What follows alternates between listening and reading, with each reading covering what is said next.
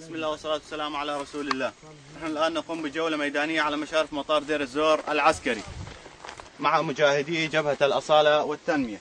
معنا الآن القائد الميدان لجبهة الأصالة والتنمية أبو عبد الله. السلام عليكم ورحمة الله. وعليكم السلام ورحمة الله وبركاته أبو عبد الله منذ متى وأنتم مرابطون على مشارف مطار دير الزور العسكري؟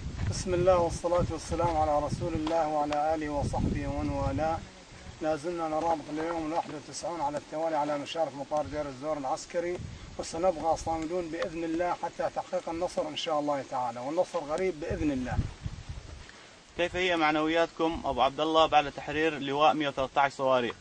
الحمد لله رب العالمين المعنو- المعنويات عالية جدا واغتنمنا بعض الذخيرة من آه، لواء الصواريخ 113 وسنوجهها إن شاء الله إلى مطار دير الزور العسكري بما أنها مي كافية بس إن شاء الله نستكملها إن شاء الله. طيب أبو عبد الله ما هي الصعوبات التي تواجهكم أثناء رباطكم به؟